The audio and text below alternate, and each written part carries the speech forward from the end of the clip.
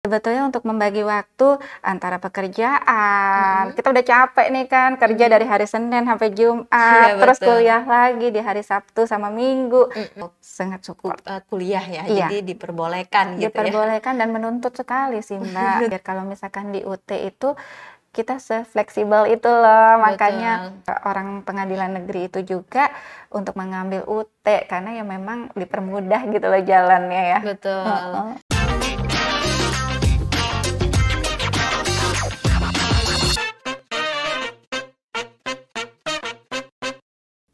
Halo Sobat Dute, berjumpa lagi bersama saya Ika Sandia Putri dalam program Podcaster, podcastnya Universitas Terbuka Palembang.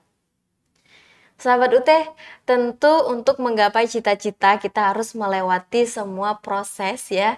Mungkin salah satunya pembelajaran-pembelajaran di masa kita melanjutkan pendidikan. Nah, hal yang ditunggu-tunggu itu biasanya sangat senang banget ketika kita uh, merasakan yang namanya wisuda ya. Apalagi kalau misalkan wisudanya itu ditemani sama keluarganya ya. Yang pasti hari ini kita akan kedatangan bukan akan ya sudah kedatangan bintang tamu yang cantik yang pasti lulusan terbaik satu yang baru aja wisuda kemarin di tanggal 31 Januari 2023 langsung aja kita kenalin. Halo Mbak Sandy. Halo Mbak Ika. Halo. Nah ya jadi ini adalah salah satu alumni ya yang baru saja lulus kemarin uh, ikut wisuda ya Mbak ya, ya betul, ikut wisuda kemarin di asrama haji ya, ya. Oke jadi ini adalah Mbak RR Sandi Satio Asi, sarjana hukum yang baru aja lulus ya. Gimana Mbak kabarnya? Alhamdulillah sehat Mbak Ika. Sehat ya. Hmm. Oke, perjalanan ke sini gimana lancar? Alhamdulillah lancar. Tadi hmm. pagi baru sampai kami sekeluarga demi UT ya, Demi ya. UT ya. Oke, keren nih ya. Oke, yang pasti Mbak ya kita uh, santai aja kita hari ini ngobrol-ngobrol tentang pengalaman gitu hmm. tentang selama berkuliah di universitas terbuka ya. Yang pasti pasti ada dong nanti uh, kesan-kesannya gitu ya, terutama ya. untuk sahabat UT. Disapa dulu dong sahabat UT yang lagi nonton kita sekarang. Halo sahabat UT, selamat pagi. Assalamualaikum warahmatullahi wabarakatuh. Perkenalkan saya RR Sandy Satyo Asi, mm-hmm. sarjana hukum ya Mbak ya sekarang yeah. ya. Oke, lulusan terbaik satu tahun 2023. Alhamdulillah. Iya. Ah, kalau boleh tahu Mbak, uh, apa namanya gimana sih perasaannya pas kemarin itu tahu ternyata masuk dari uh, termasuk lulusan terbaik satu gitu? Awalnya uh, sempat kaget ya Mbak ya, karena tiba-tiba loh kok nomor saya kok jadinya 001 kaget yeah. kan apa saya daftarnya kecepatan atau kayak gimana okay. nggak taunya pas uh, dikasih tahu bahwa saya adalah lulusan uh, terbaik, lulusan terbaik. Mm -hmm. jadi ya bangga sekali dan senang sekali senang ya, sekali ya, ya.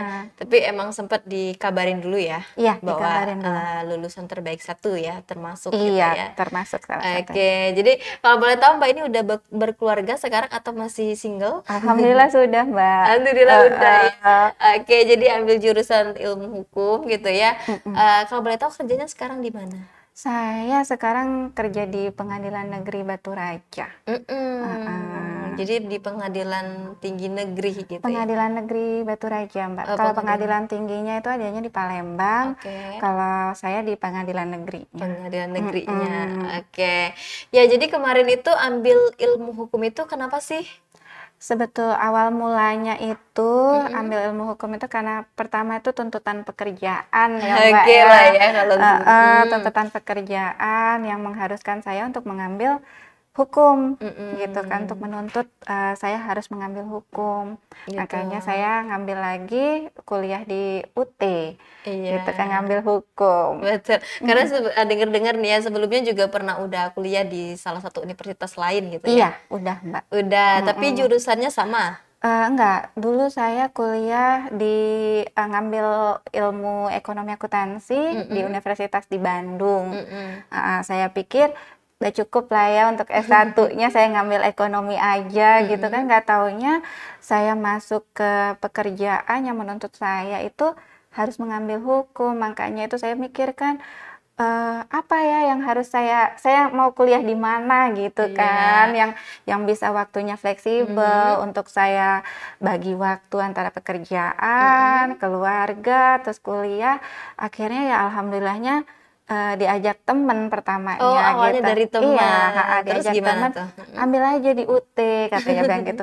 Terus saya tanya, susah nggak sih sebetulnya untuk masuk UT? Enggak kok. Terus uh, ya fleksibel gitu. Akhirnya pas saya udah masuk UT, ternyata memang semudah itu dan sefleksibel itu ya Mbak ya waktunya waktunya gitu, gitu ya iya. oke berarti awalnya tahu dari teman gitu ya denger dengar gitu mm. ternyata cari tahu akhirnya daftar iya gitu. akhirnya daftar ya kemarin pas daftar di UT itu jadi pakai ijazah yang sebelumnya atau masukkan SMA SMA Mbak oh iya masukkan uh, SMA dari ya. nol lagi ya dari nol uh, lagi ya karena emang kalau dari ekonomi ke hukum mungkin dikit ya dikit. yang apa mata kuliahnya yang sama iya. gitu jadi uh, nggak alih kredit gitu yeah. ya. Oke, uh-huh. akhirnya dengan masukkan SMA gitu ya, uh-huh. daftar di universitas terbuka. Iya. Nah, kalau tadi kan uh, Mbak ini udah berkeluarga uh-huh. gitu ya. Uh, kerja juga. Terus gimana sih caranya bisa kuliah di UT sampai dapat lulusan terbaik satu gitu? Iya, kak sebetulnya itu kita itu dituntut ya Mbak ya untuk membagi waktu harus bisa dan mampu gitu kan ya. Sebetulnya untuk membagi waktu antara pekerjaan, kita udah capek nih kan kerja dari hari Senin sampai Jumat, Iya, terus betul. kuliah lagi di hari Sabtu sama Minggu. Nah, untuk eh, bagi waktu untuk anak-anak itu saya aksinya itu malam gitu Oh, kan, malam gitu. Mm-mm. Kalau belajarnya itu kapan? Belajarnya itu ya saya membagi waktu gitu kan. Kalau misalkan eh habis kuliah, terus saya buka-buka buku lagi, saya Oh, coba lagi gitu. belajar. Atau di sela kerjaan gitu. Iya, Pokoknya dibagi-bagi gitu Iya, ya. karena juga kan di UT itu juga kan diba- eh, dikasih tugas ya Mbak ya, yang Iya. menuntut kita itu untuk mengerjakan, ya itu juga ngerjainnya di jam saya kerja juga gitu kan. Jadi Betul. kan pokoknya setiap hari itu harus membagi waktu antara belajar dan bekerja gitu Tapi kan. tempat kerja Mbak kebetulan memang support ya untuk Sangat support. eh, kuliah ya. Iya. Jadi diperbolehkan gitu ya. Diperbolehkan dan menuntut sekali sih Mbak. Betul Eh, sekali. eh, Jadi eh, kalau misalkan kita lagi belajar gitu di jam kerja karena emang kerjaannya udah diselesaikan gitu. Mm-mm. Jadi nggak apa-apa gitu Nggak ya. apa-apa. Betul sekali. Eh, eh. Jadi ya enak ya kalau misalkan kita itu kuliah entah meskipun berat sebenarnya ya kuliah kerja belum lagi ngurus anak belum lagi ngurus suami gitu ya. Iya, ya sebenarnya berat ya kalau cuma dipikirin gitu. Tapi kalau kita jalani dan eh, orang-orang terdekat kita itu sudah sangat support kita gitu ya itu bakalan lurus-lurus aja gitu. Iya, Eh, selama keluarga mensupport, terus Mm-mm. juga rekan kerja mensupport, ya atas doa mereka juga ya Mbak ya, akhirnya saya bisa ada di titik ini, bisa menjadi lulusan terbaik gitu Mhm. kan, ya itu juga atas doa keluarga juga sih Iya. sebetulnya. tapi gitu. ya kalau misalkan untuk lulusan terbaik itu kan nggak semua orang apa ya nggak semua orang bisa mencapai itu gitu Mm-mm. kan karena ya kebanyakan memang mahasiswa universitas terbuka ini memang sambil kerja juga nih ya Mbak Mm-mm. ya ada yang sambil kerja ada yang ngurus uh, suami ngurus keluarga juga banyak Iya. juga rutinitas rutinitas lainnya selain berkuliah gitu ya tapi ya nggak semua orang bisa mendapatkan lulus lulusan terbaik satu gitu ya nah mungkin ada nggak tis tips ya ada nggak sih tips gimana caranya biar uh, kita itu bisa dapat nilai bagus terus di UT gitu Sebetulnya kalau misalkan untuk tips ya Mbak Eka, Mhm. kayaknya nggak ada sih ya tips tips banget itu nggak ada, cuman Mhm. eh, itu dari kemauan diri kita sendiri Betul. gitu kan ya, kemauan kita, terus usaha kita supaya bagaimana sih kita bisa mendapatkan nilai yang terbaik gitu Mhm. kan, terus bagaimana sih memanage waktu yang baik gitu kan, ya itu memang tergantung pada diri kita sendiri gitu Oke, kan. jadi yang kunci awalnya ya, kunci Mm-mm. utamanya itu memang harus dari diri kita sendiri Iya dulu betul. ya. Kalau misalkan kita cuman apa ya, rencana gitu ya. Mm-mm. Kita merencanakan eh, kita mau belajar nih gitu. Iya. Setiap harinya kita harus belajar gitu. Ha-ha. Tapi kemauan di diri kita itu cuman sekedar rencana aja gitu, Iya. belum ada kemauan yang niatnya yang kayak aku harus belajar banget gitu, Iya, enggak gitu ya. ha.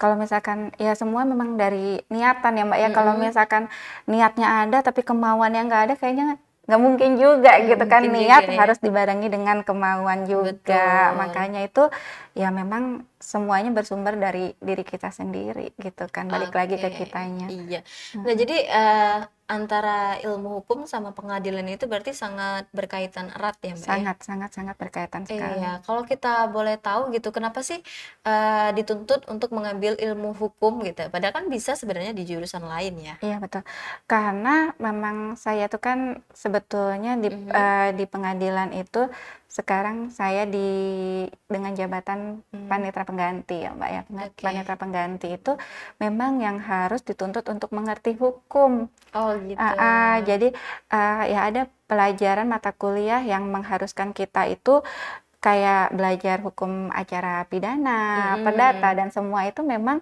ada di dunia pekerjaan yang saya geluti itu ada okay, gitu kan jadi kayak lebih ke prospeknya itu emang bener ke sana gitu. Mm -hmm, betul. Ya. Uh-uh. ya karena kemarin kebetulan juga kita ada podcast juga gitu mengenai prodi ilmu hukum ya Mbak ya. Jadi mungkin masih banyak juga nih terutama yang baru-baru ya, yang baru lulus itu kan biasanya kesulitan untuk menentukan jurusan apa sih yang mau diambil gitu ya. Nah, karena kebetulan kemarin kita bahas juga prodi ilmu hukum gitu ya. Prospeknya itu di mana aja sih setelah lulus gitu. Ya mungkin salah satunya di sini ya. Iya, Oke, okay.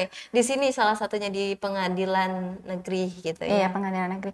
Banyak juga sih Mbak yang lulusan mm -hmm. teman-teman saya nih ya yang mm -hmm. seangkatan mereka udah lulus juga bareng-bareng mereka sekarang lagi uh, ngambil untuk sertifikasi advokat mm -hmm. gitu kan terus ada lagi yang mau ngambil S2 lagi mm -hmm. uh, yang kebanyakan sih memang mereka sudah bekerja gitu kan sudah bekerja dan sekarang mau mengambil lagi untuk sertifikasi advokat okay, gitu kan. Uh, gitu. Uh, berarti boleh lah ya uh, mungkin nanti Mbak Sandy kasih oleh-oleh gitu ya untuk teman-teman yang ada di pengadilan negeri ya. Oleh-olehnya itu berupa informasi gitu ya. Mm -hmm. bahwa di universitas terbuka ini memang uh, perkuliahan yang fleksibel yang sangat mendukung uh, bagi mahasiswa yang ingin bekerja sambil berkuliah ya, mm-hmm. terutama di pengadilan negeri ya, mungkin bisa diinformasikan bahwa saya ini lulusan universitas terbuka. Iya, gitu.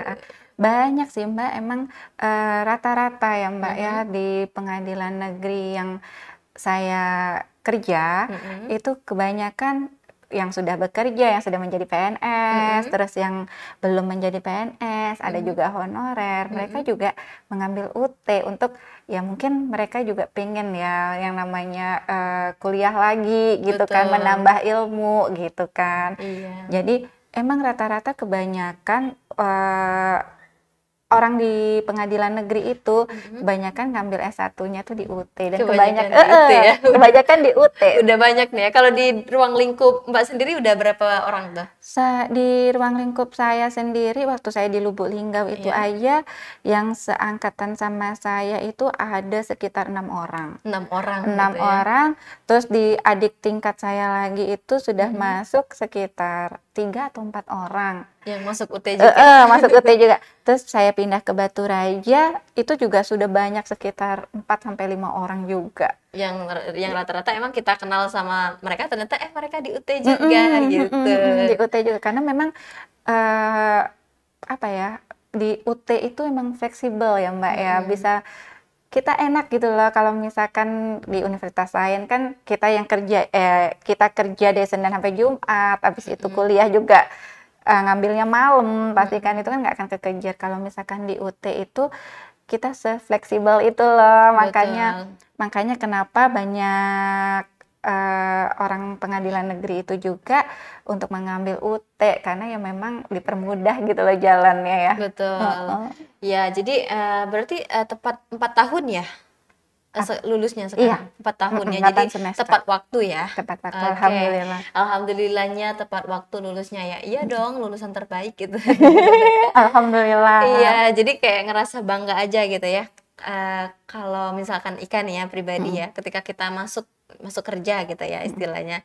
Wah lulusan terbaik satu nih pasti teman-temannya udah pada tahu kan ya? Iya, uh, ya hmm. itu lah mbak ya karena nggak nyangka ya sebetulnya ya uh, kemarin dapat lulusan terbaik satu saya kasih tahu suami juga kan uh, ini loh saya dapet terbaik satu mm-hmm. masa iya sih masa iya sih gitu dia yeah. sendiri juga nggak nyangka yeah. gitu kan tapi emang belajarnya emang udah di prepare udah udah niat banget ya iya niat sekali niat sekali uh, jadi emang ya memang ada pepatah yang mengatakan kalau misalkan kita belajar bersungguh-sungguh kita akan membuahkan hasil iya, jadi betul. apa yang kita usahakan itu nggak bakalan nggak bakal nggak bakalan sia-sia iya. gitu uh-uh. iya jadi ini mungkin buah hasil dari selama ini uh, Mbak Sandy itu belajar sampai malam mm-hmm. gitu belajar sampai kerja harus nyimbangin waktunya iya gitu. betul mbak karena memang ya kerjaan juga dituntut untuk cepat kuliah juga dituntut untuk serius gitu mm-hmm, kan untuk mengumpulkan tugas ya itulah kadang-kadang sampai malam gitu hmm. kan ngerjain tugas sampai malam besoknya sudah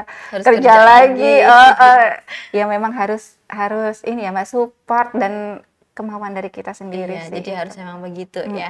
Oke okay, nih, uh, jadi sahabat UT kalau misalkan kamu ada apa ya, ada pikiran ataupun ada niat gitu ya untuk melanjutkan pendidikan tinggi di universitas terbuka, silakan aja mungkin cari tahu karena kita itu banyak banget prodinya mbak ya. Mm -hmm. Jadi kebetulan uh, prodinya itu sudah banyak gitu ya sudah ada S1 juga, ada S2, ada juga S3 gitu ya di UT.